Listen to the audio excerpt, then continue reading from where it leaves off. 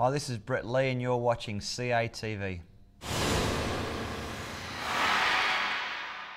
So Stuart, did Tim and Troy lose a bet? What was going on there this morning?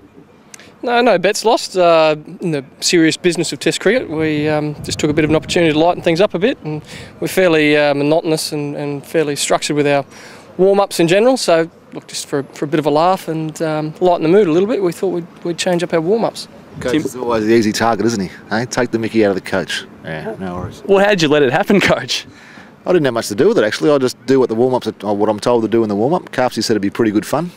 Um, once I heard what he was thinking, I made sure we padded up pretty well.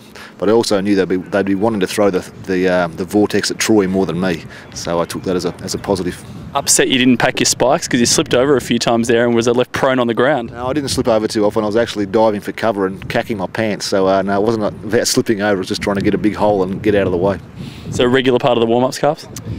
Don't know. I, think, given the, the, difference in the size of the two, that Cooley's a much bigger target. I don't think he'll be too uh, keen to keep it going. I think uh, Vinny's got a bit more uh, agility and mobility about him. He can. Uh, I think he certainly came off. Um, Troy certainly came off second best.